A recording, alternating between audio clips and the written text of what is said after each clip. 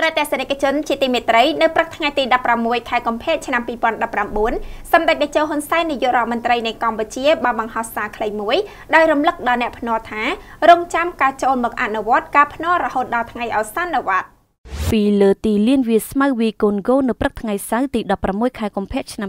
2019សម្ដេចតេជោហ៊ុនសែននាយករដ្ឋមន្ត្រីនៃកម្ពុជាបានបង្ហោះសារខ្លីមួយដោយនិទានពីល្បិចខលខូចរបស់មិត្តភ័ក្តិដែលបានវាយកូនហ្គោជាមួយហើយព្យាយាមកិច្ចខ្លួនមិនគោរពតាមការភ្នាល់សម្ដេចតេជោហ៊ុនសែនបានរំលេចសារយ៉ាងដូចនេះថ្ងៃនេះវាយកូនហ្គោទៀតហើយដើម្បីសុខភាពផងនិងការកំសាន្តចុងសប្តាហ៍ផងតែថ្ងៃនេះដៃគូប្រកួតដែលបានលេងភ្នាល់ជាមួយខ្ញុំលេងខូចខ្លាំងណាស់គាត់វាយបាល់ធ្លាក់ទឹកគេមើលឃើញគ្រប់គ្រប់គ្នាគាត់បែរជាដាក់បាល់ថ្មីវាយបន្តដោយមិនខ្វល់ពីបាល់ពីនៃសោះពេលនេះគាត់កំពុងចូលបន្ទប់ទឹកខ្ញុំរងចាំខាងក្រៅប៉ុន្តែសង្ស័យថាគាត់មិនព្រមចេញមកទេដឹងឬគាត់ទម្លាយទ្វាររត់ចេញទៅក្រៅតារាងបាត់ហើយតែទោះជាយ៉ាងណាខ្ញុំត្រូវរងចាំគាត់រហូតផុតម៉ោងប្រកួតព្រោះគាត់ជាអ្នកបបួលខ្ញុំភ្នាល់ដោយសម្ដីក្អេងក្អាងទៀតផងសូមចេញមកប្រកួតបន្តអ្នកណាខ្លាំងកុំរត់ចោលទីលានប្រកួតក្នុងសារដែលជាការនិទានរបស់សម្ដេចតេជោនាព្រឹកថ្ងៃទី16ខែកុម្ភៈឆ្នាំ2019បានធ្វើឲ្យគេមើលឃើញថាជាសារមួយមានចេតនាបញ្ឆិតបញ្ឈៀងនិងឌឺដងឲ្យតនដិតសំរងស៊ីតនដិតសំរងស៊ីបានប្រកាសភ្នាល់ជាមួយសម្ដេចតេជោហ៊ុនសែន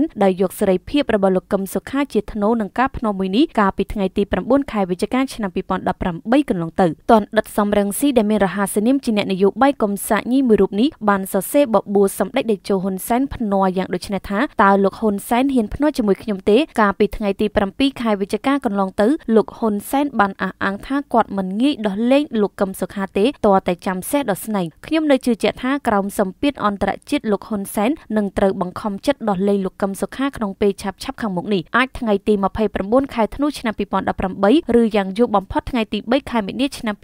2019លោកសំរងស៊ីបានបញ្ជាក់បន្ថែមថាបើលោកហ៊ុនសែនចាញ់ខ្ញុំក្នុងការភ្នាល់នេះលោកមិនចាំបាច់កាត់កខ្លួនឯងដោយក្នុងការសន្យាបញ្ឈប់កាប់ព្រៃឈើនោះទេខ្ញុំគ្រាន់តែសូមឲ្យគាត់ចោះចេញពីតំណែងបានហើយតែបើខ្ញុំចាញ់លោកហ៊ុនសែនវិញខ្ញុំសុខចិត្តដើរចូលឲ្យគាត់ចាប់ខ្ញុំយកទៅឃុំទន្ទឹមនឹងលោកកឹមសុខាបើមិនបញ្ចូលរឿងអ្វីថ្មីដូចជារដ្ឋប្រហារក្រៅពីចំណុចដែលបានលើកឡើងខាងលើនេះមកដល់នៅថ្ងៃទី16ខែកុម្ភៈឆ្នាំ2019អសន្នវត្តនៃការភ្នាល់នៅសល់តែ15ថ្ងៃទៀតប៉ុណ្ណោះតែទោះបីជាយ៉ាងណាគេបានមើលឃើញទៅហើយថាតនដិតសំរងស៊ីនឹងចេញលើការភ្នាល់មួយនេះព្រោះមកទល់ពេលនេះមិនទាន់មានតម្រុយណាមួយតាមផ្លូវតុលាការក្នុងការដោះលែងលោកកឹមសុខានៅឡើយនោះទេគេក៏មើលឃើញផងដែរថាតនដិតសំរងស៊ីនឹងមិនគោរពតាមការភ្នាល់នេះឡើយព្រោះសន្តានរបស់តនដិតរូបនេះភ័យខ្លាចបំផុតគឺការជាប់គុកនៅក្នុងជីវិតនយោបាយរបស់តនដិតរូបនេះឲ្យតែឮថាមានដីកាជាប់គុករត់ចោលស្រុកមិនបង្អង់ជើងនោះទេ